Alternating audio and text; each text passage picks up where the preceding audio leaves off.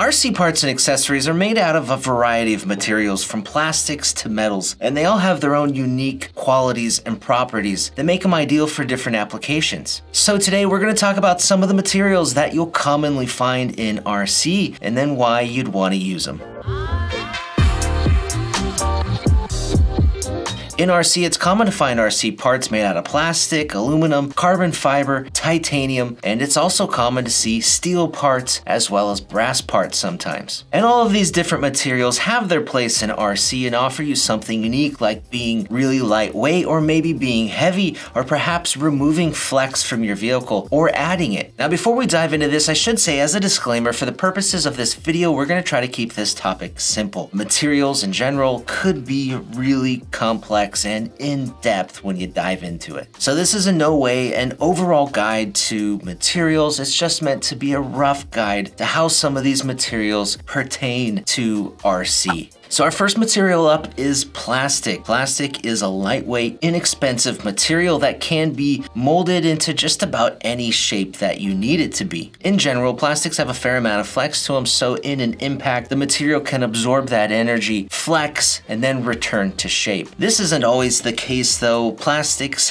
can be made in a wide variety of mixtures or composites, so it varies from brand to brand or with the mixture of plastic that they made. But in general, plastic does flex. And with plastic, the amount of flex is generally affected by the outside temperature outside. In really cold outside ambient temperatures, plastic tends to stiffen up and become a bit more brittle and can be broken easier. When it's really hot outside, plastic does the opposite. It tends to loosen up and become a lot softer and have even more flex. Plastic parts are also prone to just wearing out over time. Wear and tear takes a toll on them and they tend to lose their tolerances. Like in the suspension arm you'll put the hinge pin through that hole can kind of wallow out. Or in a hub where you'll put the bearings before you slide the axle through, those bearing holes that hold the bearings, they can just kind of wallow out over time. And you'll notice your suspension parts kind of just having more play and more wiggle. In a hard crash, plastic does have its limits before it will snap. RPM plastic parts do a really phenomenal job at providing a lot of flex to the whatever part it is so it can just absorb that impact energy and then return back to shape. They're really really good upgrades in certain applications. Things like suspension arms and hubs and steering parts, whatever may have already broken on your vehicle just from experience, those would be good items to upgrade to that more durable RPM part.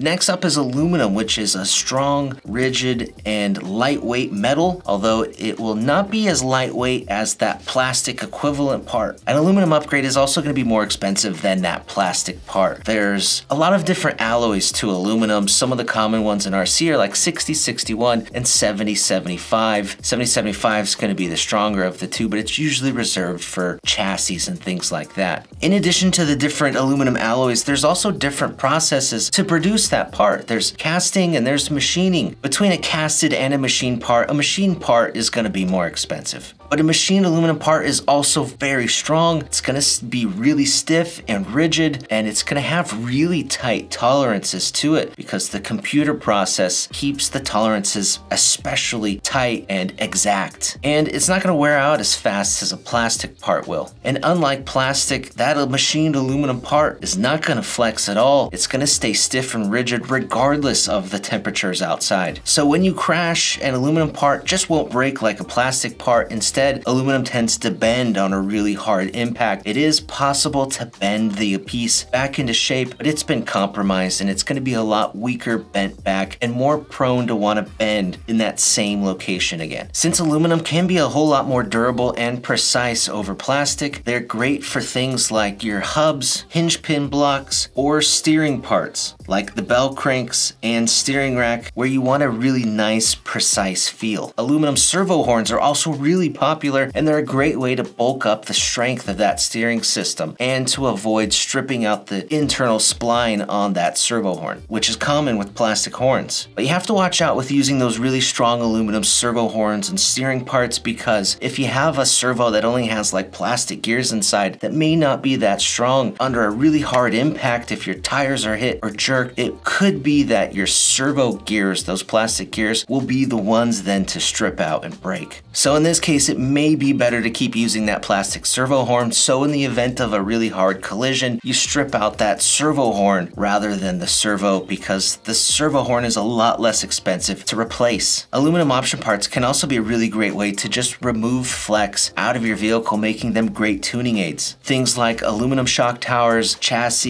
upper decks, bulkheads, kids top plates, chassis braces, those are great ways to stiffen up your platform and to remove flex that the plastic counterparts would have provided. So aluminum options are great tuning aids. They're pretty dang durable and they look pretty nice too. You can get aluminum option parts in a variety of different anodized colors, which can help you go with a particular style or look that you're going for. Now, the last thing I want to mention about aluminum is that it's a really great heat conductor. So aluminum tends to want to absorb heat away from a heat source. This is why you see aluminum used as motor plates and heat sinks and RCs, but aluminum can be really good in those high heat situations or applications. The next material is carbon fiber, which just consists of tons of carbon bundles being held together by an epoxy, and then it's layered in to make flat sheets of various thicknesses. You can then take these flat sheets and make things like chassis, shock towers, to upper decks, uh, some steering parts, really any parts that are just flat, you can make out of carbon fiber. Carbon parts are generally more expensive than plastic, but they're going to be more lightweight than the equivalent plastic part. Carbon is also going to be stay stiffer and more rigid than plastic, but it is generally not stiffer and more rigid than uh, that equivalent aluminum piece.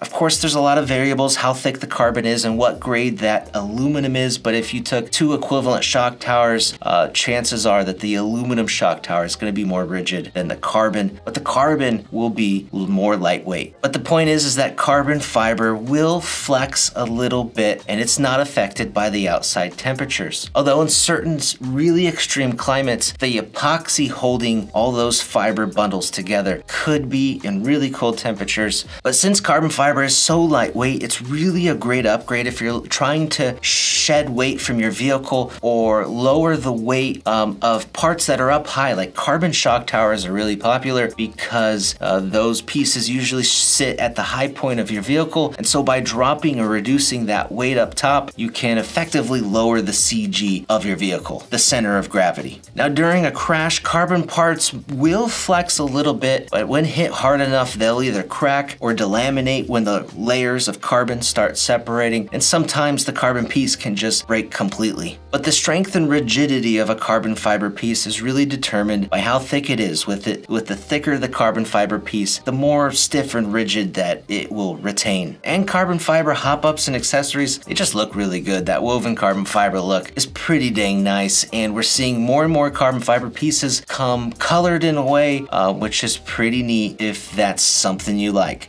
The next material is brass, which is an alloy consisting of copper and zinc, and brass parts are heavy. Brass parts are just primarily used to add weight to your vehicle. Somewhere low on the chassis, they're really popular with rock crawlers and trail trucks. Uh, some race buggies also use these really thin brass plates. They're placed underneath the battery. Uh, the idea is just to add weight down low so you can lower the center of gravity. There's some brass option parts for more of the race crowd that will turn turn your plastic bulkhead into a brass one, or instead of aluminum bulkhead, you can use a brass one, or maybe a suspension hinge pin holder will be available in brass. It's just to add more weight to certain areas or locations on your vehicle. Now I want to touch on steel parts, which are very strong, and they also have some heaviness to them, but generally steel parts are not as heavy as brass. Steel is often used as hinge pins, hardware of course, the screws, maybe shock shafts, uh, maybe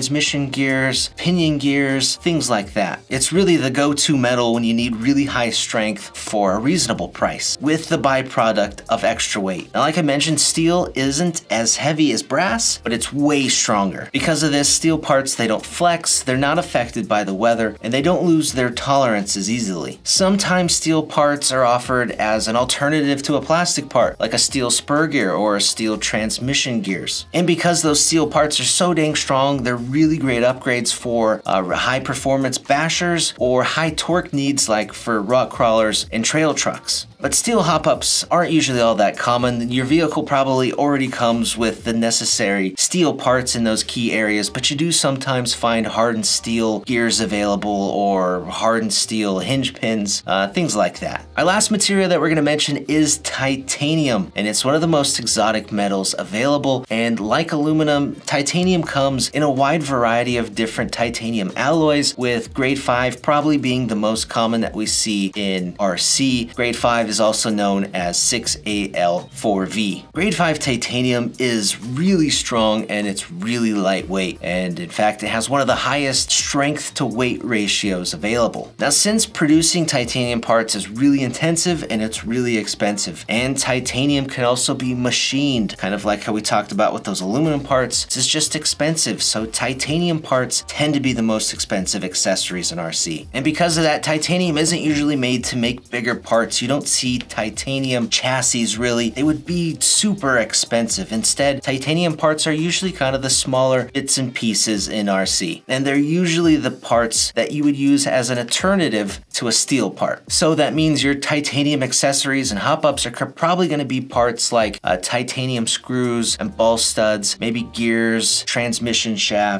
um, nuts, various hardware, things like that. Titanium parts also hold their tolerances really well. They're not affected affected by the outside temperature and they do not flex under impact. Instead, a really hard collision will cause titanium to just shear off or it'll break off, but sometimes it can also bend. But machine grade 5 titanium upgrades are some of the best out there for exceptional strength while being virtually weightless. These parts are great for the high points in your vehicle when you want to reduce all that weight and lower the center of gravity. You can use titanium screws in conjunction with a carbon fiber shock tower, something like that. It'll really reduce the weight up high in your vehicle. So there are a lot of different types of materials out there and their strength or grade can vary from manufacturer to manufacturer, but in general you will find that the aluminum upgrades are going to be a, a hop-up or accessory for some plastic part. Carbon fiber upgrades are going to be an alternative to a plastic or aluminum part. Titanium parts are usually there as an alternative to a steel part, and then brass parts are just there to add weight wherever it can. Guys, you should check out Wiki if you want more information on any of these metals or the various alloys. It's really interesting stuff and there's tons of info out there. I'm sure I missed some stuff, so leave any questions or comments you have for us down below. Hit that like button and subscribe for our future videos. I'm Brett from Main Main Hobbies. Thanks for watching.